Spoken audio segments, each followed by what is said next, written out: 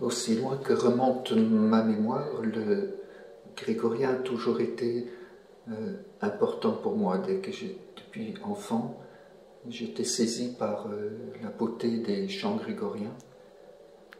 Et puis, lorsque je me suis éloigné du Seigneur, j'ai découvert que d'autres récupéraient le grégorien dans un tout autre contexte qu'on appelle le, le, nouvel âge. Et donc il me semblait, ça me traversait, je le portais dans mon cœur de dire, ne perdons pas cet héritage, il y a une responsabilité.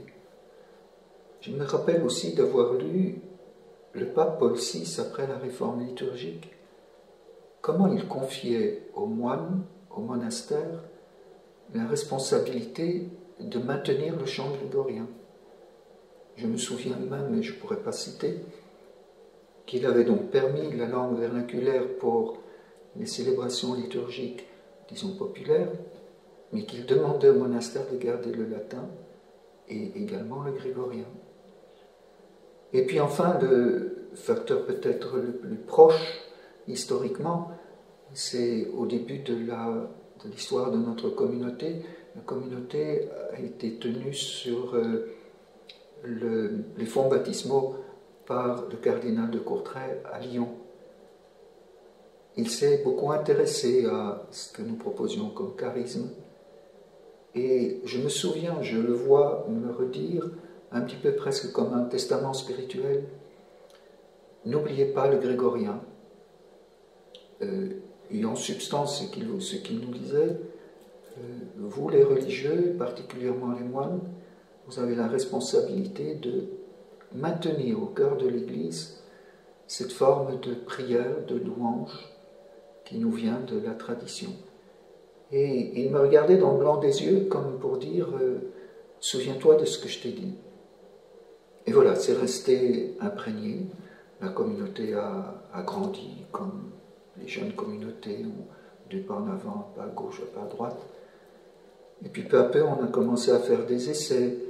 Euh, à chanter en grégorien.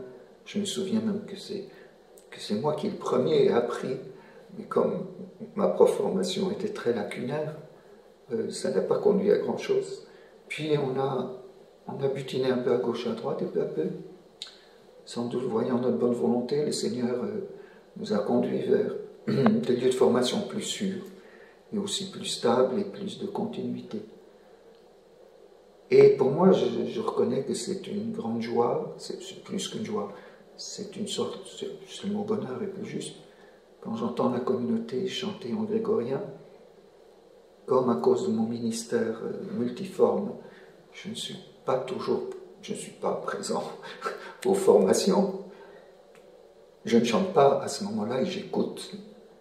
Et j'aime bien me laisser porter par euh, la prière de la communauté, surtout quand on est dans les stalles portés par la prière, et qu'elle est très unanime quand les cœurs se répondent comme si c'était une seule voix.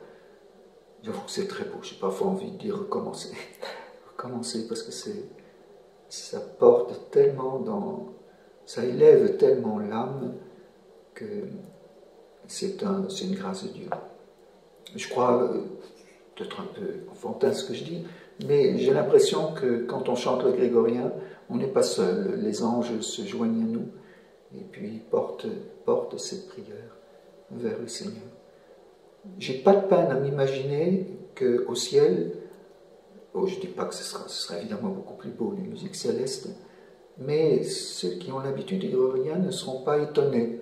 Ils vont s'y reconnaître, ils vont dire j'ai entendu ça quelque part, en moins beau bien sûr. Il y a une sorte de continuité entre la liturgie terrestre et la liturgie du ciel que qu'il me semble retrouver dans une liturgie où l'on chante en grégorien, et sans doute c'est vrai aussi pour les autres liturgies, mais c'est moins évident comme perception. Voilà, je ne vois pas trop que dire, je crois que la communauté obéit à une intuition du cardinal de Courtrai qui, à mon avis, venait d'en haut, il le disait avec beaucoup de solennité, et il me le disait, donc c'est un nous communauté, et c'est un devoir d'obéissance à, à l'Église que de, poursuivre cette formation pour euh, toujours plus introduire ce chant grégorien dans euh, la vie de la communauté. Surtout, me semble-t-il, dans une vie monastique, où ce que les gens viennent chercher, c'est justement cette, euh, ce silence habité qui leur permet, sortant d'un monde tumultueux, et venant devant Dieu et souvent ne sachant pas quoi lui dire, je ne sais pas prier, comme on dit, eh bien, en écoutant, se laissant saisir par la prière du Grégorien, c'est la prière qui nous saisit et qui nous porte vers Dieu. C'est comme un ascenseur vers Dieu. Je crois qu'aujourd'hui, les gens tendent mal à rentrer dans la démarche de prière. Il me semble que c'est important.